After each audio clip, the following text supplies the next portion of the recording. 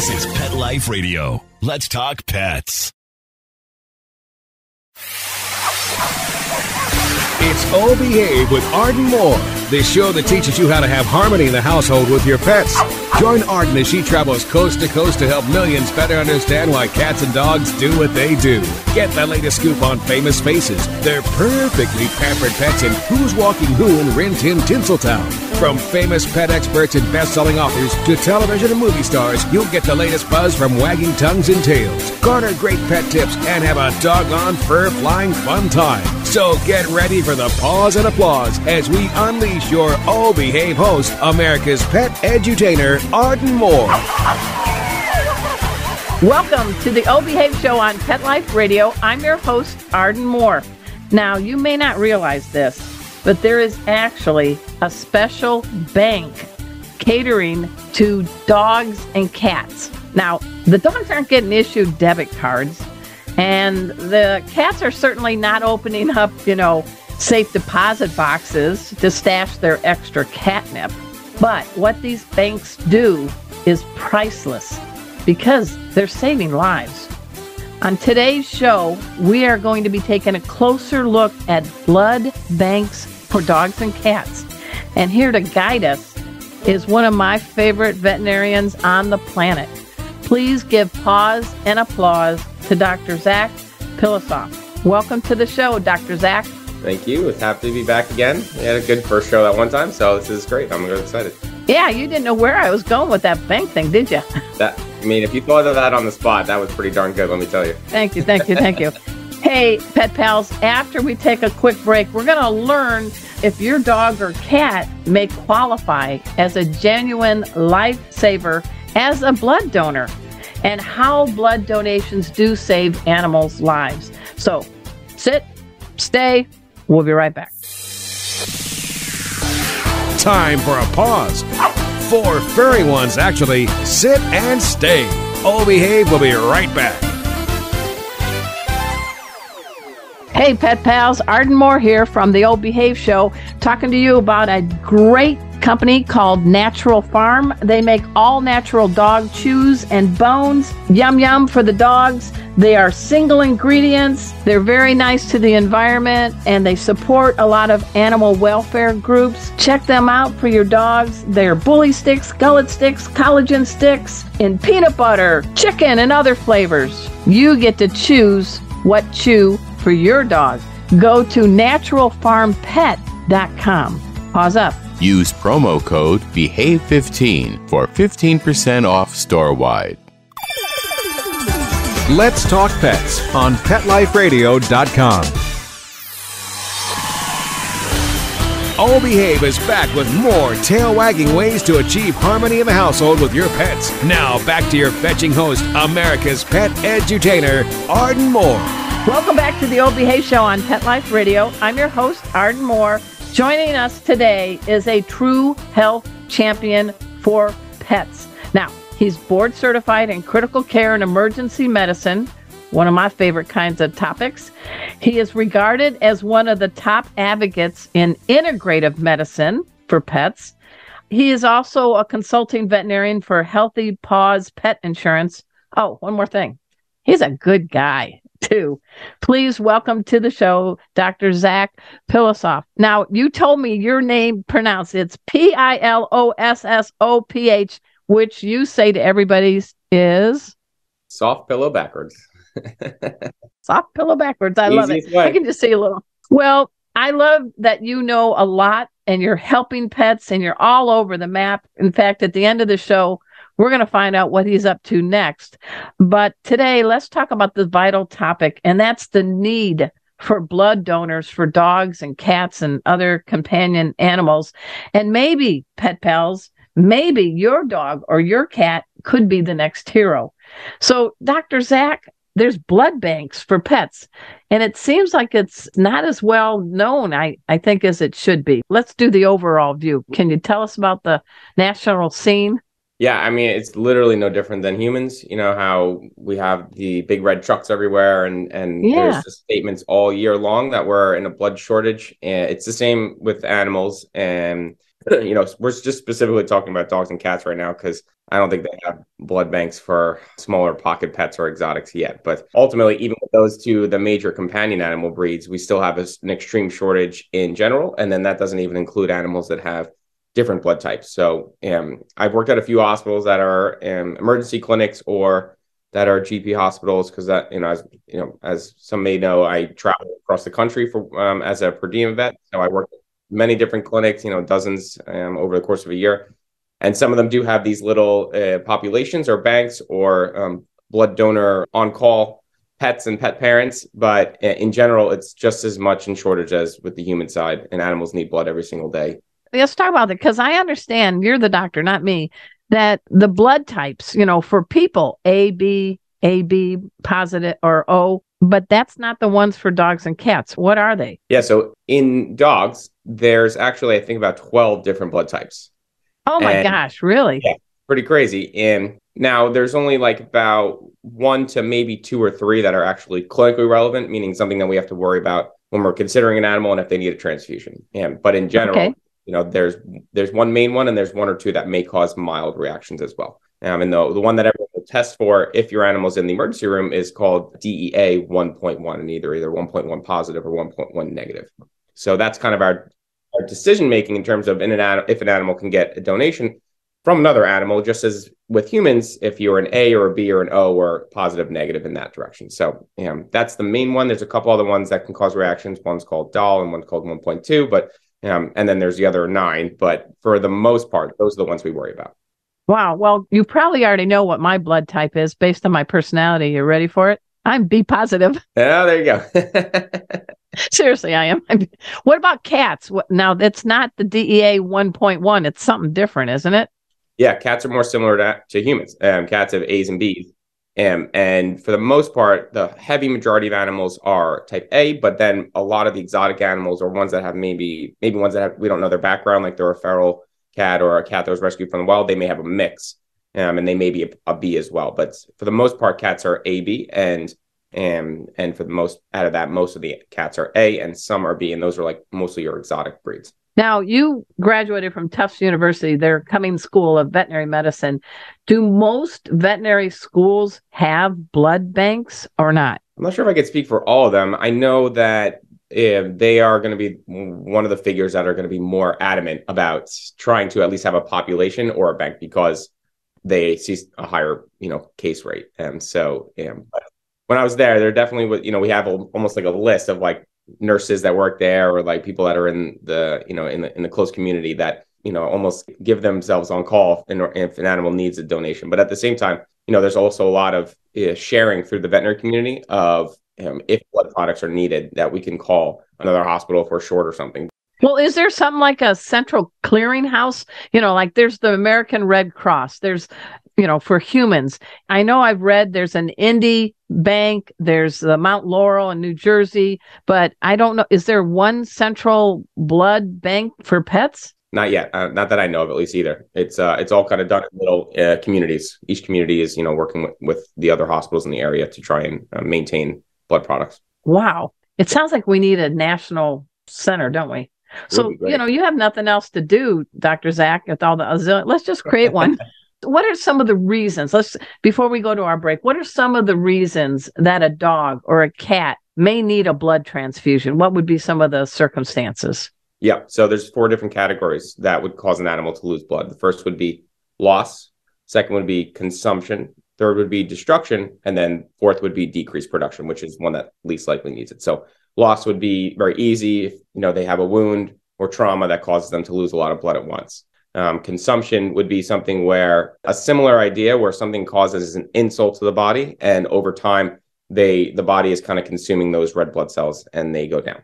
Uh, third would be destruction, uh, where the body is actually attacking the red blood cells itself um, through an immune mediated or an autoimmune cause. And then decreased production would be the source of where your red blood cells are made, um, which is in your bone marrow. So if you have a bone marrow disease, so those are the four main categories that would cause an animal to eat it. So it could be like a trauma. Mm-hmm. They could eat toxins. They could nick an artery, and they could have a disease. Did I do it? Did I did I translate?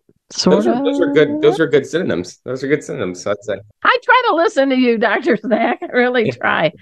So I have a very sweet dog, Kona. Mhm. And Kona is great at a veterinary clinic. Kona loves everybody. She's certified therapy pet. She helps me teach pet first aid. But I don't know what makes a good blood donor dog. What are you looking for as a veterinarian or a vet tech? What would say this dog physically, personality wise, breed wise, what makes this dog coveted as a donor dog? Yeah. So there's there's actually a, a general standard list of things that we look for actually. Um, and some are qualitative and some are quantitative. So um, Oh, I like how you talk. thing- Okay, keep going. qualitative would be kind of what you just said. Like, are they a, a dog that's a good temperament? Are they calm? Are they going to sit through a transfusion or are they going to sit through a, a blood extraction procedure with minimal to no sedation? That would be kind of something that is a um, you know a qualitative Okay. measure. Um, quantitative things would be in their age. So we usually want an adult animal that's not a puppy or a geriatric. So usually one to eight years. I call those the prime time players, prime time pups. Yeah. There Okay. you go. So usually like one to eight, one to seven is like a good, you know, where an animal's immune system and their their hematologic system is most robust. Most animals Okay. have to be over 20 kgs or about 40 pounds. They need to be like in a, a general good health, like their body condition score needs to be good, and their muscle condition score. Good body mass. Okay. Yep. And they have to be up, up to date on their vaccinations and their red blood cell counts have to be at a minimum of of 40%, which is like the low normal um, range. Yeah. Wow. Yeah, the last thing is actually we do uh, want them to be negative for that um, that blood type, the DEA 1.1. We want them to be negative so that they don't have potential antigens that could be reacted to either the first or second time a transfusion happens. And then we would test for like major um, major blood pathogens that would maybe infect the red blood cells or the other cells in in the blood system. So those are qualitative, quantitative things. I love it. Now, what about cats? Because cats need blood too. And you've mentioned that cats are mostly A and some B. But again, what's the requirement for a feline blood donor? Because I'm looking over at my healthy boy, Casey, the ginger cat. I don't think he's really volunteering, but I'm just asking what's the special uh, situation for cats? What are you looking for? I would say it's relatively similar. At the same time, you know, I, I don't think that most cats will sit through it. So most cats we do sedate, and we do sedate. mm, You know, I'd say a third to a half of the dogs as well. It's just it makes it easier for them. And if an animal's healthy, then sedation is never a concern for us on the doctor side. It's only animals that have underlying health conditions. So these are healthy animals that can tolerate sedation very well, and they could honestly safely get sedated every single day if they needed to. It's sedation is not something that we would consider a health risk. Yeah. So, um, but um, you know that what we do is uh, very similar. It's exactly the same general list. The PCV may be changed a little bit just based on cats having a little bit lower amount, but we wouldn't be testing obviously for the same infectious agents and for the same antigens on the blood uh, cells themselves. We would just be looking for A or B, and that would be it.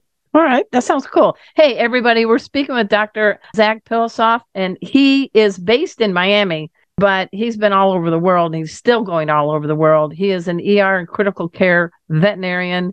He is also uh, integrative veterinarian. I love that. He's a vegan, right? Did I get that right? Yeah. And he knows how to save lives. We're going to dive into more about blood donors and what you can do after we take this break. So sit, stay. We'll be right back. Time for a walk on the red carpet, of course. All Behave will be back in a flash right after these messages. Take a bite out of your competition. Advertise your business with an ad in Pet Life Radio podcasts and radio shows. There is no other pet related media that is as large and reaches more pet parents and pet lovers than Pet Life Radio.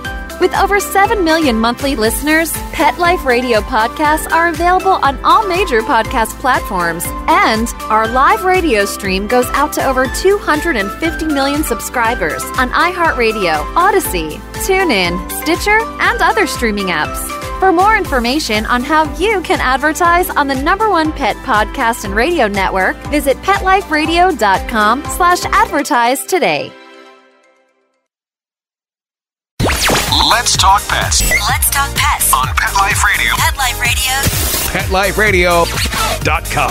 Holy hound dog! Hi, this is Burt Ward. and you're listening to the O Behave Show with Arden Moore on Pet Life Radio. Listen every week, same pet time, same pet channel. We're back from the lot. Just checked the paper and we had a record showing at the box. The letterbox, that is. Now back to Oh Behave. Here's Arden. Welcome back to the O Behave Show on Pet Life Radio. I'm your host, Arden Moore. I just wondered, we have Dr. Zac Kolosoff on our show, and we're talking about dogs and cats who may be good blood donors and they can help dogs and cats who are in need. We talked about some of the reasons, you know, they get hit by a car, they got into some toxin medicine, they have some kind of a, a disease that's really not, the red blood cells aren't doing well. They need good, healthy blood. And you mentioned some of the criteria for the dogs and cats to be donors. I understand uh, a lot of places that do have blood banks in their area. Don't they kind of, the dogs and cats get some nice treats and maybe their pet parents get like a, a little thank you, like a debit card or something. There's been some other things have you heard about that try to entice the pet parents to bring their pets in to donate blood? Yeah, you know, it's like I remember when I was younger, I uh, you know, I would I would try to do every 45 days with the uh the give your blood donations as well. And yeah, you know, you go you get like a five dollar gift card to somewhere. You know, a lot of times the you know the vets that do this, they'll offer like a free physical exam or you know discounts on diagnostics or if they're if they're an own pet. Or sometimes you know if you're a pet to a vet nurse then you're out of luck because they're just going to volunteer you you know but uh, well i do know um, there was a show in december that was spotlighting on television some hero dogs. And there was a newfoundland named lagertha who is at the mount laurel blood bank in new jersey. And yes belongs to a vet tech, Deb Consiglio, I think is her name. And that dog, whenever the rotation is due, goes in and happily gives blood and saves has saved dozens of lives. But let's get into it. Where do you draw blood on a dog or a cat? How much blood do you take? So the first question, eh, where we draw blood is from the main jugular vein. So that would be why sedation a lot of times is necessary um, for these yeah. animals. You know, some of them don't really like that. So yeah, don't mess with my jugular, doc. Yeah. No, not today. Okay, yeah. You know, so uh, so the, it always goes from the jugular vein, and and that's important because obviously there's a lot of vital structures around there. So we don't want to, you know, most of the nurses that do this are extreme experts. You know that they you know, they, they could hit a vein in a winter storm with blindfold on. So, you know. But the jugular is close to the heart. Is that better because the blood's getting back to the heart? Would tell me, is that is that why? Or is it just a good vein? It's the largest ac- you know, access point, okay. and that makes it easiest for us to to get from. So um so mostly it's from it's from the jugular vein, which is the largest peripheral vein we can get. And then the second question you asked, how much can we take? We can take usually healthfully somewhere between 15 to 20 milliliters per kilogram, or and I guess per pound, you just multiply. So you know, 30 to 40 milliliters per pound. Okay. And so let's let's do a scenario. You got a 50 pound dog. How much can they safely extract and have that dog still be doing good? Well, you know, you're going to make me do milliliters. I can't do it, Doc. Yeah, it'd be 1500 to 2000 milliliters, I guess, technically, you could take. Okay. So but, is it like one one eighth of their blood or one twentieth of their total blood volume or what? Well, actually, that's funny you say that. We, we don't think about it like that, but in other mathematical equations, 90 mils per kilogram is considered a blood volume. So if we're taking 15, that would be about one sixth. And if we're taking 20, that would be somewhere between one sixth and one fourth. So technically, or one fifth, I mean. So technically, it, it's about maybe around one fifth of their blood volume, and that's that's definitely safe. An animal can actually lose, you know, almost more than a third of their blood and actually be okay and actually live fine. So you know, we're staying below that, obviously, but you know, right, right, about a fifth to a sixth of their blood volume. Now, I'm so amazed at your math skills. That was pretty good. What'd you think of that? That was pretty good. Don't make me repeat that. Now, once they are good and they seem to be good candidates, healthy blood, healthy attitude, how often safely could a dog or cat give blood to help others? Mm, I think it's around the same. That's actually something I have to look up again because it's different for dogs and cats, but it's usually about the same period of time. If I had to think, it's It's different in other places too. It's usually around like the 42, 45 day mark from what I remember correctly. But usually I think we stay around the two month range is kind of something like a safe bet. Um, at least in the the hospitals that I've worked at with the colonies that we have. And I don't think I I don't think we talked about it before, but the the cat situation is a bit different than the dogs. So the dogs, you know, the pet parents will come in or the nurses will come in. Cats, we have, and just as a side note, we a lot of the hospitals that do this will have a colony of cats that were relinquished. So they will just have this room of cats that they all intermingle and they hang out and they're just blood donors. And that I've seen this maybe three, four, three or four times at least in, in, in multiple states. But they'll have a room in the hospital or they'll have, you know, a, a population either at a shelter or, or rescue yeah. that the cats are just cycled through and they get to live a life of luxury with other cats and they just donate blood every you know every six to eight weeks so it's uh that's not a bad gig. Well, so like a community cat colony, so that they are a bit socialized and they've been spayed and neutered, updated on all their vaccinations, and they landed uh, a new place to dwell, and they just have to pay rent by giving blood. Pretty much, they uh, they get to live on a you know little uh, island resort for the rest of their life, and all I got to do is get poked once every two months. So I think that it's an interesting. I, I think this is fascinating. But all right, now there's the actual blood, but there's other things. What are the forms that you would use as a veterinarian to help an animal in need? There's different types of blood, right? There's the platelets, and you know help me. Yeah, what you're what the word you're looking for is blood products. So that's that's thank that's you. Blood yep. products for two hundred, Doctor Zac. Okay, yep, go for right. it. so um, anyway, so yes, yeah, so blood products. There's many actually, but the main ones we work with are packed red blood cells and plasma. It's the most common. We can sometimes transfuse whole blood, which would be when those two are still together. And I'll talk about what those two are in a second. But um, okay. whole blood would be another one. And then there's other different extractions we can do. So we can sometimes do platelets or platelet rich plasma. And then sometimes we can um, do other liquids, something called uh, cryoprecipitate, et cetera. So there's other things. But ultimately, when we're working with an animal, we kind of decide does it need blood cells or does it need blood liquid? And that's what we do. So packed red blood cells is essentially when you take your blood and you say, all right, what is this made out of? And it's made out of um, about 45% cells and it's made uh, 55% liquid. And so we would take that blood and we would separate it into two different things. We would take the cells. And that's amazing.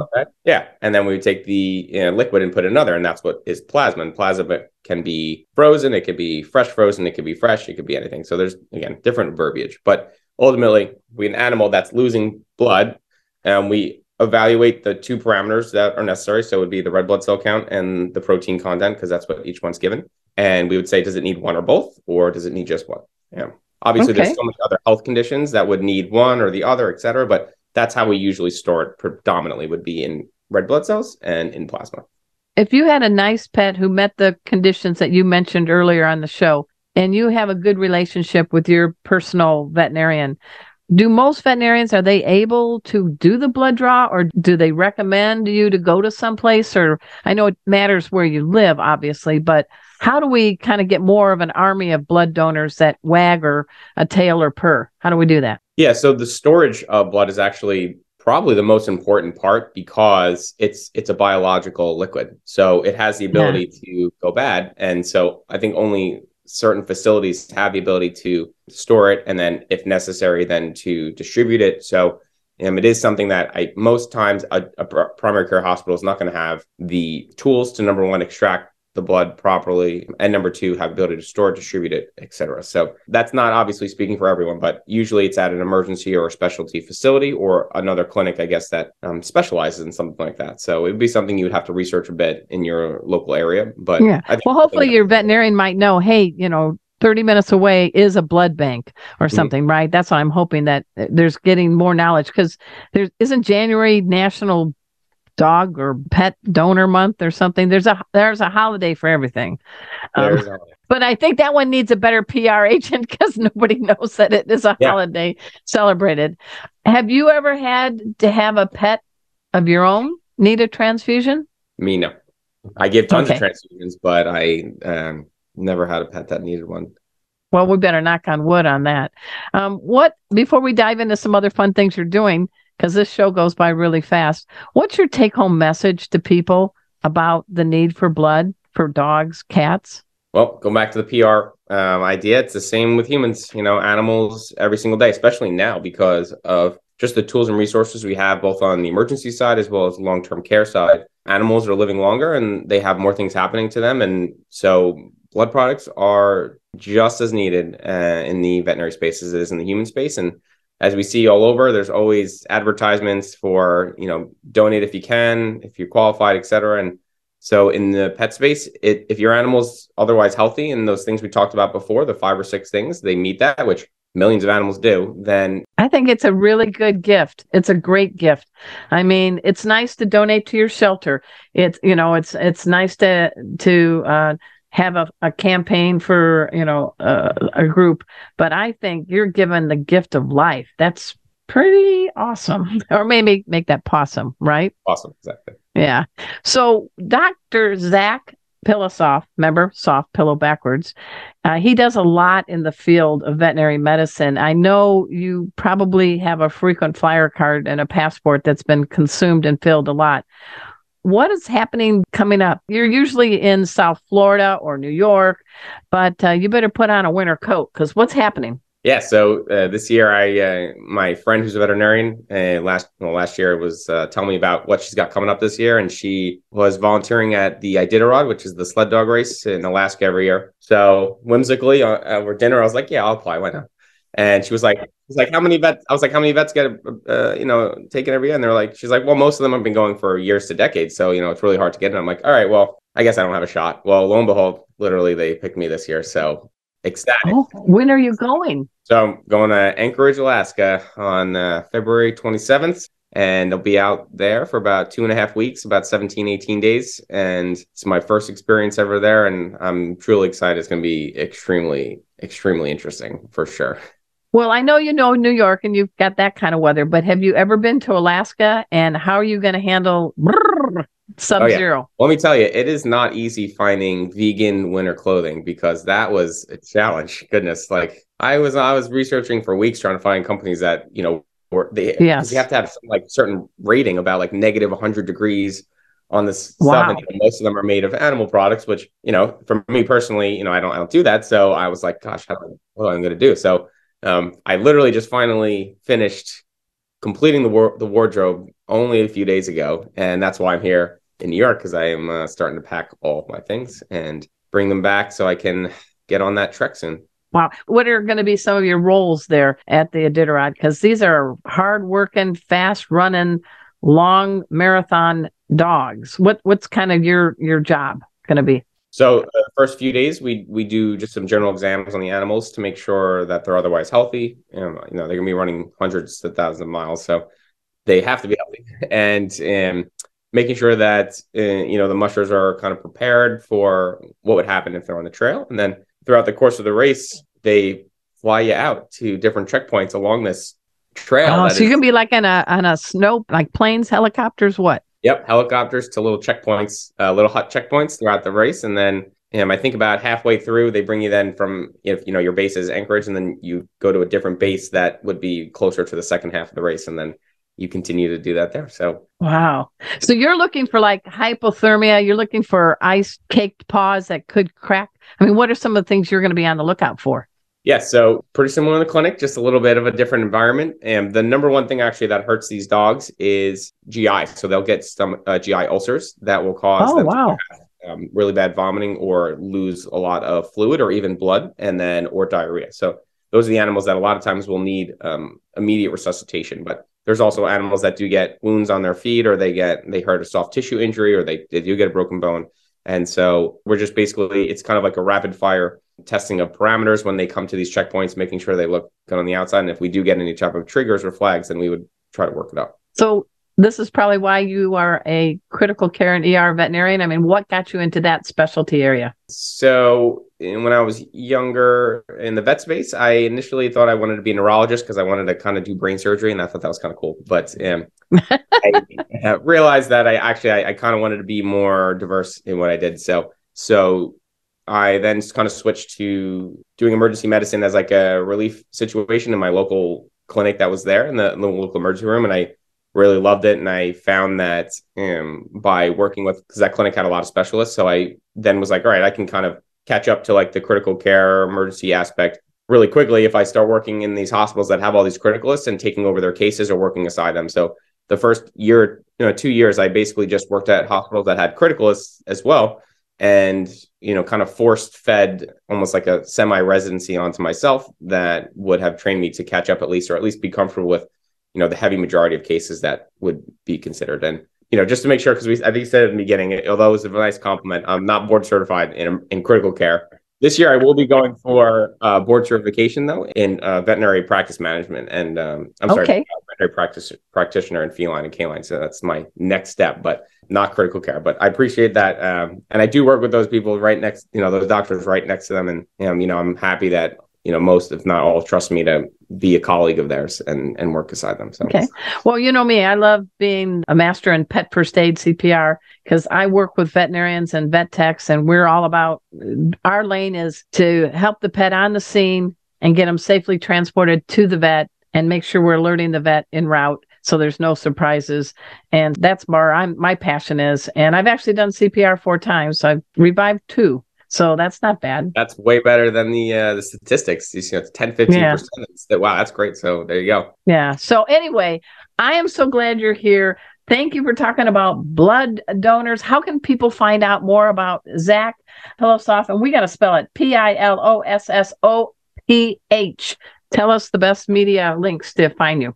Uh, yeah. So uh, right now, my focus actually on the personal side has been helping to grow and launch my uh, little project that I just created last year, which is super exciting because the last time we talked, it was still in the final stages. Yeah. But uh, the company is called Nayked Pet, and um, it's a combination of some pretty, I guess, some pretty revolutionary product services. So the product side is the first ever luxury vegan hair and skincare line for pets. That's both Yay. preventative and therapeutic. So they're all human grade luxury products that are also that were all formulated by a human para esthetician. So who basically their job is they essentially take over from surgeries and plastic plastic surgery, you know, specialists exact and their job is to essentially make the heal in a way that it disappears and that it, it creates um you know longevity. But does it have a Y in it? Spell the website. What's it? So it's N A Y K E D P E. Okay, good. Yep, it's a little bit special. So that's the first half, and then the second half, which is the side that I'm truly excited about for things like this, when we get to talk as well, is um, is a telehealth service, but integrative medicine telehealth. So um, we have different consultations for uh, specific situations in every animal and every pet parent's life. So um, from you know we have uh, puppy power classes to geriatric care and longevity wellness, cannabis consultations. Um, we even have one that's for um, almost like therapy for pets if they have anxiety, things we can do. Um, there's about eight or nine different consoles at the moment that we're looking to expand. Um, once Will that all be under the Nayked Pet uh, site or okay? Yep. So the product line and also the kind of the telehealth area, integrative. you got it. Yep, integrative telehealth services. So you you're going to get stuck having me call you again. You know that, right? I hope you don't mind. I don't mind. You've been wonderful. Thank you so much for being on our show. I also want to do a shout out to our producer, Mark Winter.